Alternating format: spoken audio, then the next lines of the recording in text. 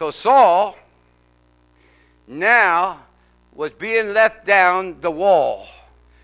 And slowly they left him down. Amen. And nobody left go of the rope. You or I, at this midnight hour of time, you may be called to hold the rope when things are at their darkest. The little things that you and I do for Christ. I'm talking to believers here today. Little things that you do and I do for others as unto the Lord. In the darkest hour, you might feel like it don't mean nothing, but whatever you're doing, as you do it as unto the Lord, see, God has prepared that plan. Remember about being a doorkeeper at the house of the Lord? Some of you have been cleaning in the house of the Lord. Some of you have the caretakers of the house of the Lord. What would happen if somebody wouldn't do that job? They're needed. I done that for years for my pastor. Walk down to the church and shovel with my bear with a shovel. Amen. Make sure the church parking lot and the church uh, street was cleared off in the city at that time. Where, and I even took my daughter along with me. We would walk down from our apartment with snow amen, up to our knees and up to our waist, then go down there and make sure that was all cleared out so God's house could be cleared out for people that want to come in. And then we would walk back, and then we would do the apartment where we live so we could get in. We didn't have to do that, but we wanted to do that. And God slowly blessed us. Many times I would walk around the church, and don't ask me how they got there because nobody ever threw them there, and pick up handkerchiefs and pieces of paper and stuff. And, you know, and I know Christians didn't throw them there but they needed to be picked up. And see, it's the little things that God will bless you with.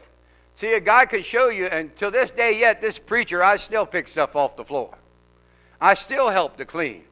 I still do uh, jobs around the house of the Lord. Why? I'm not ashamed of that. I've been brought up that way, and if I see something that needs done, I do it. Amen. And guess what? I don't do it as unto man pleaser. I do it as unto the Lord because it's the Lord that has given me life to be able to do it. So guess what? Those that bought the rope, those that bought the basket, and those that held the rope, their names are not mentioned, but guess what? The Bible mentions them because Saul's ministry, who later became Paul. And you ever wonder why God changed his name? See, there's a purpose when somebody's name is changed there's a reason why the name has changed. And a lot of people used to say, well, God changed Paul's name from Saul to Paul because people were afraid of the name Saul and they would be more open to the name Paul. No, that's part of it, but that's not the whole reason why it was changed. The main reason why it was changed, when you become the property of somebody else, they have the right to name you and call you what they desire to call you. Saul didn't belong to Christ. Paul committed to Christ. Now he belonged to Christ. And Christ renamed him Paul. Paul means little one. Before he was called the mighty Saul that would persecute the church. So he called him Paul because he belonged to God. He's just like me and my wife. I shared it at the church the other week where we preach and minister. I says, we went out to the SPCA one day because we wanted to have a dog and we wanted to rescue a dog and bring it home. And we looked through the dog pound and we found this one we liked. And at the dog pound, they had a name on there and it said, his name is blah, blah, blah, blah. And the people that owned him before, we don't know what his name was, but this is what they call him. And then when we were in there, his name was blah, blah, blah, blah, whatever they called him. But when we got him, we renamed him. His name is Sir Lancelot. Amen. And guess what? That's what we call him. And guess what that dog responds to? The name that his new owners call him. The ones that love him, the ones that feed him, the ones that have plans for him, the ones that provide for him. He learned to answer to that name. Paul is learning to answer to Christ because somebody held the rope, somebody bought the rope, Somebody got the right size basket. Somebody was willing to let him down through the window so they couldn't kill him because somebody said, now he belongs to God. You don't know how many times you prayed for somebody in your prayer closet. You cried your eyes out, and you don't, and you don't see no change in that person. But see, but God's got a plan. And later on, when that plan's fulfilled, because you prayed, your prayers are not in vain. I'm trying to stir up some good prayer warriors back into the church. Intercessory prayer, where God will speak to somebody's name and say, Lord, I don't know who this person is, but Lord, you laid it on my heart. I'm going to pray for them. Well, I don't know them. I'm not going to pray for them. Well, see, you're not being subject to the Word of God. These people didn't know who Paul would become because he was still Saul, but they willingly got in unity and left him down the window. And they held the rope till he reached the lower ground. The rope had to be long enough. It wasn't a coincidence, like I said. Who had the right length of the rope? God already prepared that rope to be the right length. Who had a basket was big enough and the right size that he could fit in it? Not only that could he fit in it, it had to be the right size window to get it through the window. The window had to be the right size. The wall had to be at the right location. Not only that, the garrison that was guarding the entrances and the walls, it was at a spot where they couldn't even see it being done. Why? Because God already had it planned. God has prepared a way. Some of you say, There ain't no way I can get out of this mess. There ain't no way I can get through this situation. God has prepared a way. Your way out of your mess, out of your sin, out of your discouragement and your despair is the cross of Jesus Christ.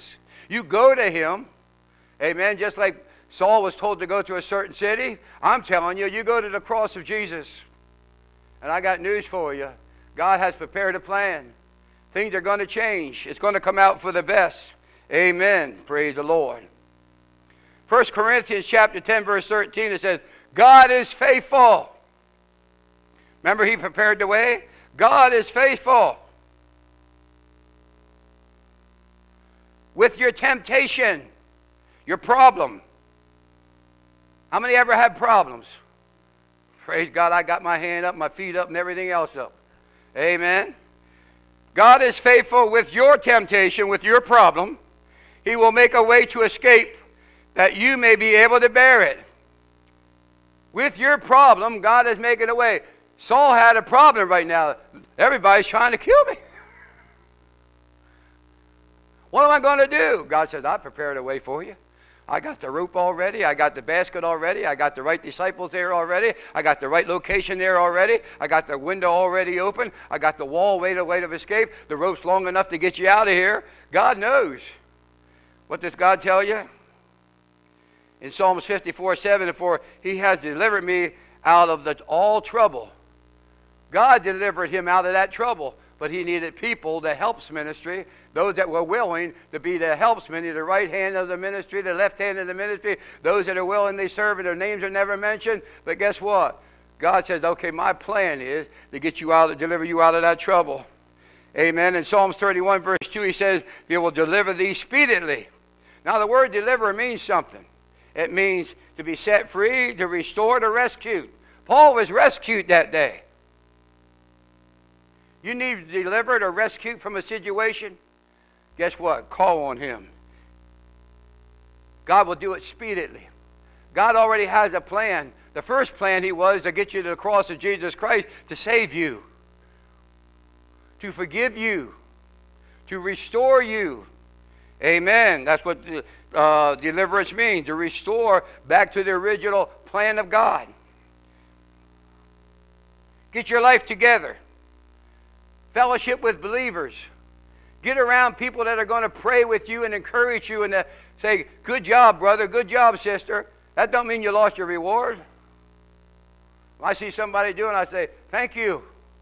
There's old fashioned words that I grew up in the generation I grew up. It's called please and thank you. Thank you and please. You don't hear that much anymore. But I got news for you. The word please and thank you will open up many doors of opportunity for you. They will also give you plenty of easy path to walk on. It will show you respect from other people because you're showing respect back to that people. And you know, when you say thank you to God, Lord, I thank you. I can imagine Paul, every time he was persecuted, beat with many stripes and shipwrecked and left for death so many times, later on he always thought back, you know, God, I thank you I thank you I thank you that they can't destroy me. And I can imagine him singing that song when they finally, his journey was over. He said, I run my race very well. And they were taking him down the path, and they were going to cut his head off for serving Christ. And you know what he said to him? I'm going to receive a crown. They looked at him and said, What's wrong with you, man? You're going to receive a crown, you ain't going to have a head to put it on. he said, I'm going to receive a crown. Why? Because God has prepared a plan. And he said to be absent from my body, to be present with the Lord. See, God's got a plan for each and every one of you. Amen. Praise the Lord. Yes, he does. Amen. Psalms 50, verse 15. I preached on it a little bit the other month, and guess what? It still goes in the Bible. Call upon me in the days of trouble, and I will deliver thee. Amen. And thou shalt glorify me. See, when God has a plan, He made a way of a plan of escape. Amen. Don't concentrate it on your problems. God is bigger than our problem. How many know God's bigger than your problem? There's a song out through it all, through it all. I learned to trust in Jesus. And part of the lyrics in there said, if I never had a problem, I wouldn't know God could solve them. You know, only way God could solve your problem is if you call on Him and ask Him to help you in your problems, and He will deliver you and help you. Amen. In Proverbs chapter 3, verse 5 and 6, it says, Trust in the Lord. Who are you supposed to trust in? The Lord. Who am I supposed to trust in? The Lord. Remember, God is faithful with your temptation, with your problem. He will make a way to escape from your problem that you may be able to bear it. Amen. Because why? I'm trusting in the Lord out of Proverbs chapter 3, verse 5 and 6. Trust in the Lord with all thy heart, and lean not unto thy own understanding. In all thy ways, in all thy ways, in every situation, acknowledge him, and he shall direct thy path. He shall show you a way out of this situation. Saul, your way out of this situation is to go into this city where I told you. Even though they're going to try to kill you, I have a plan. There's a certain place with a certain amount of disciples that have the rope, that has a basket, that has a window already prepared to follow my plan to get you out of this trouble that you're in right now. Follow my footsteps. What if he would have panicked and tried to run out the front gate? They would have got him. What if he would have tried to climb over the wall and jump down? They would have got him. What if he would have had his own plan and got his own people involved? They would have failed. Some of you had your own plans out there and your plans are falling. it's a big failure in your life. You wonder why things ain't quite working out. Why? Because you didn't let God have his plan. Amen. See, God wants to direct our path. God will direct our lives. God will direct your life if you let Him to. Saul's life was changed into Paul. He will lead us. Amen. He will help you make decisions. You want good counseling, you want good advice, get around God's Word and also get around believers that know God's Word. Good godly counseling with good godly knowledge with good godly understanding. Amen. Praise the Lord. God tells us that we can come to Him with every choice that is ours and let our requests be known unto Him. Amen. Turn with me in Philippians chapter 4.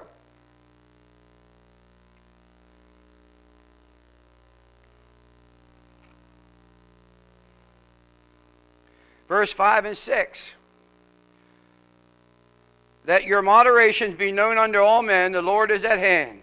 Be careful for nothing, but in everything, in everything by prayer and supplication with thanksgiving, let your request be named, made known unto God. What is your request today? What do you need from God? What is your trouble? Is people coming against you to persecute you? Or you feel like there's no way out of the mess? Amen. See, God wants you to get in unity in Psalms 133, verse 1, he says, Amen, how good it is, amen, when the brethren get together in unity. to get around with people in unity. Would you think the people that helped Saul get delivered down through that window were working in unity? They weren't saying, You ain't getting my rope. You can use the basket, but you're not borrowing my rope. That wasn't unity. Somebody could say, Well, you got the rope, but you're not using my basket. That wasn't unity. Somebody say, Well, you can get the rope and the basket together, but I'm not holding it. That wasn't unity. When they all got together in unity and said, Okay, you bought the rope. You bought the basket. Let's put it together. Let's put Saul in the basket. Let's get him down through that window. See, somebody had to volunteer that window to be used and that location. See, It was all done in unity with God's plan. When you get together in unity and let God let your request be known unto the Lord and get known unto Him, God will do the blessings. In Philipp, Ephesians chapter 6, verse 18, it says, praying always, praying always with prayer and supplication in the Spirit, and watching, therefore, with perseverance and supplications for the saints. Praying always. That means, okay, let your request be known to the Lord, and pray unto Him, and trust in Him, and He will bring it to pass. God wants you to call on Him and get your life together with Him, and God has prepared a way for you. Sometimes the conditions might not seem like they're changing. I've been there. You've been there. She's been there. We've been there, and sometimes you might be there. But, the, but our attitude changes. Get your attitude to change. If it starts here, it will spread out there.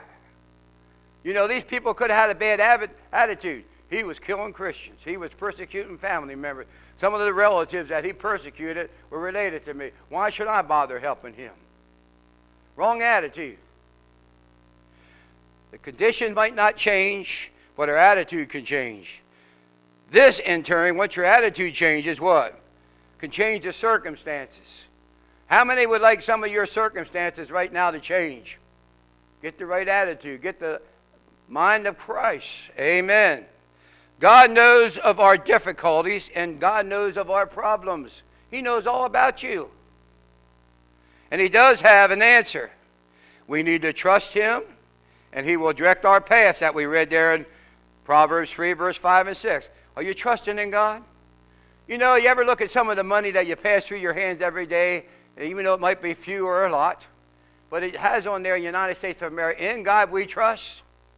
Well, guess what? This nation is not trusting in God no more. Your society that you're living in is not trusting God no more. Maybe you're not trusting God no more. But praise God, there's still a remnant of us that's still trusting God. I trust in God. Without trusting in God, guess what? He can't direct my path. They can take it off my money, but they can't take it out of my spirit. Why? Because God planted it down in there. I need to trust in God and let Him direct my path. Amen. Jeremiah 33, verse 3, we said a while ago, Call unto me, and I will answer thee, and show thee great mighty things which thou knowest not. I don't know what lies ahead, but I know ahead is better than anything I left behind. And when I call on Him, I don't always have the answer, but I know the answer is worthwhile waiting for because my request was known unto the Lord.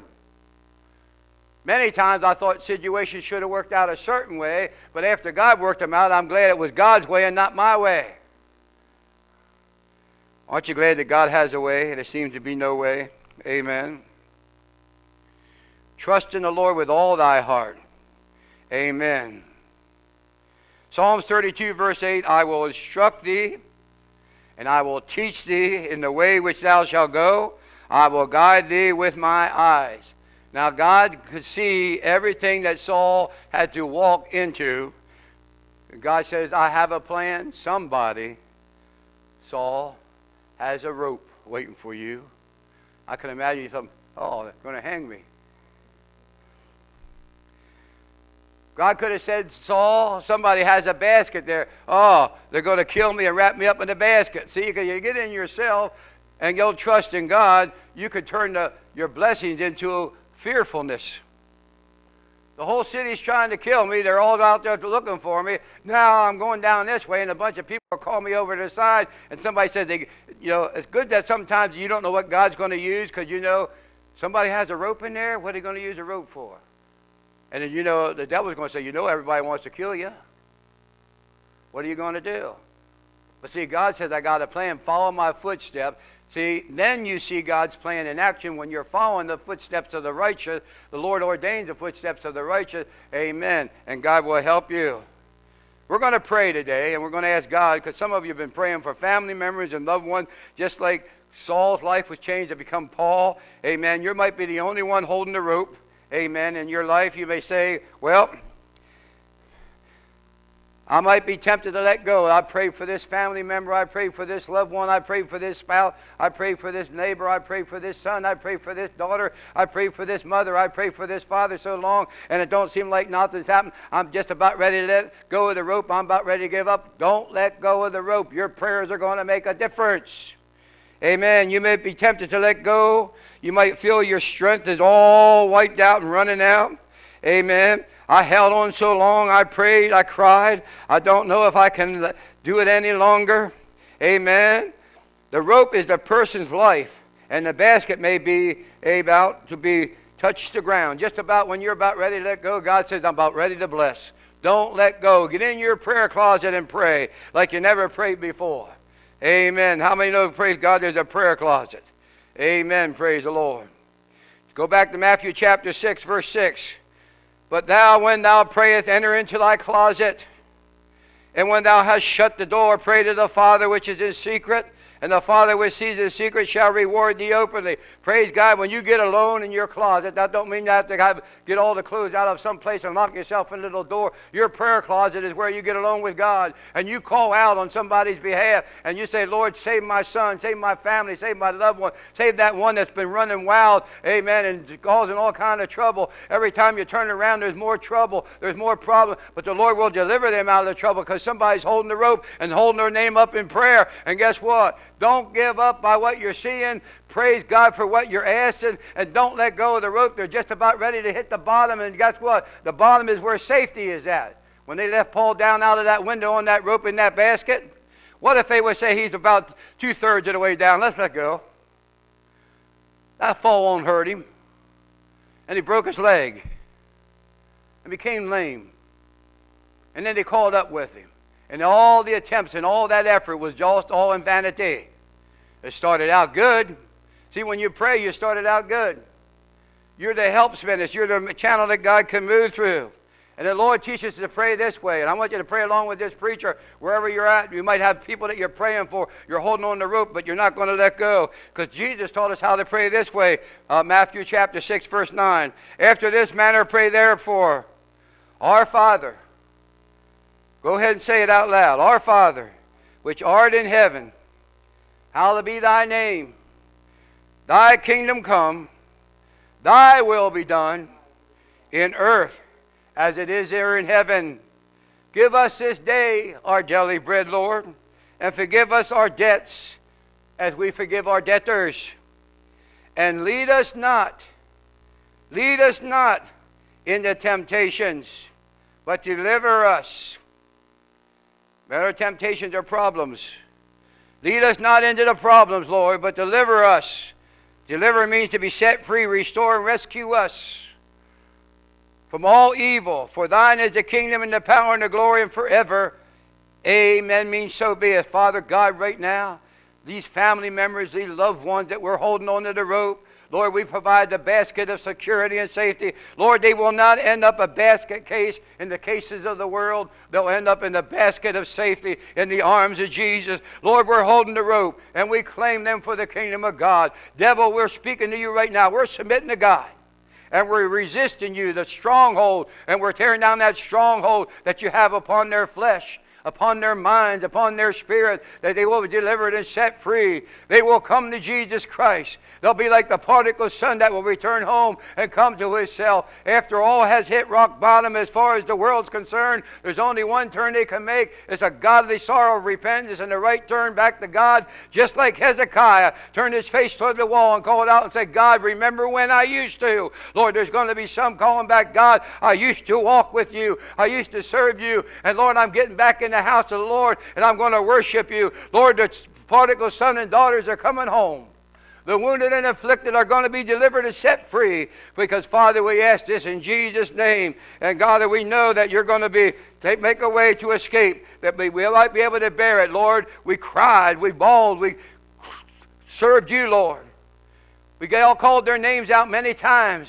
And, Lord, we're believing in prayer because Jesus taught us to pray. And Lord Jesus, you said, as two of us here on earth touch anything at the hands of the Father in His name, it shall be done. And Lord, I'm touching with every believer here, outside of my voice, in this auditorium, into that hotel room. Lord, on that there little watch, Lord, or on that little computer, Lord, or on that there little cell phone, wherever it might be, Lord, whoever's listening to this God, I'm touching and agreeing with that person that lives are going to be changed, souls are going to be saved, their lives is going to be turned around. Somebody out there needs to know that somebody's holding the rope on your behalf. God has not forsaken you. He, we are calling you out in prayer right now. Rise up out of that mess. Rise up out of that hunger. Rise up after that delusion. Rise up out of that darkness. Come forth because He loves you. Jesus Christ loves you. God loves you. This preacher loves you. Find yourself a Holy Ghost Spirit filled church somewhere and find that the teaching and the preaching of the Word will fill that emptiness and that hunger as you grow in God. God will bless you. Call unto me right now and I will answer you. For I will deliver you out of all your troubles, out of all your problems, out of all your temptation. I'm tempted. No, you're not tempted. You're delivered and set free. I'm bound. No, you're not bound. You're delivered and you're set free. I can't make it. Yes, you can make it because Jesus will help you make it. Come to Him. In Jesus' name we ask. And all the church said, Amen. Hallelujah. Thank you, Jesus. It's the truth, and the truth has set us free. Loved ones who hold the rope. Amen. Because God has prepared the way.